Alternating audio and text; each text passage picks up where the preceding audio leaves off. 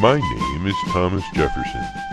Some of you 21st century Americans are familiar with my name, but know only what my enemies and yours want you to know that I own slaves.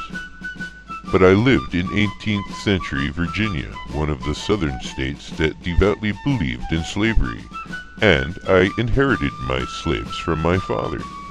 As an individual, I could do no more about the institution of slavery, which I hated, than you could do about the unfair political system you have inherited from the men who created it 221 years ago. Men who didn't want working Americans to enjoy the benefits of a true democracy. Not ever. The times are extremely dangerous for you and other freedom-loving Americans.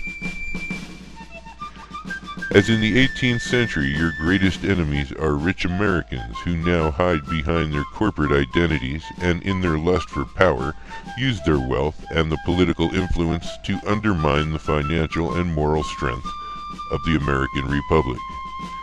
However, if you truly want to solve these problems, there is a solution.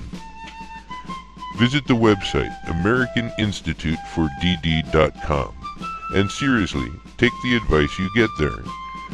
That's AmericanInstituteForDD.com.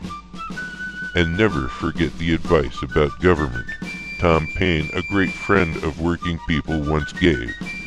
Young people, if you participate, the future is yours. Good luck.